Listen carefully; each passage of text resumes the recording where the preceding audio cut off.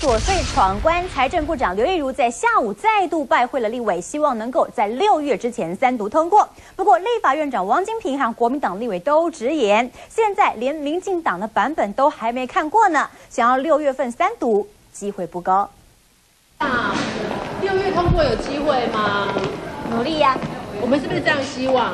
是的。决战六月正所税闯关，财政部喊出时间表，部长刘玉如请跑立法院化解期间，就怕政院版本自家立委也不听。对，因为现在在立法院嘛，所以就是一切就是看立法院排出来的行程。那总总统这边的，因为好像像呃，我我想就是反正现在就是到立法院，所以我只谈六月机会，对不对？总统有这样指示吗？总统有这样指示吗？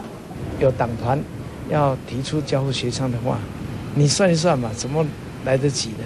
用最快的方式出委员会，但是绝对不可能到院会三读通过。民进党版本还没送，政院版本同样意见分歧。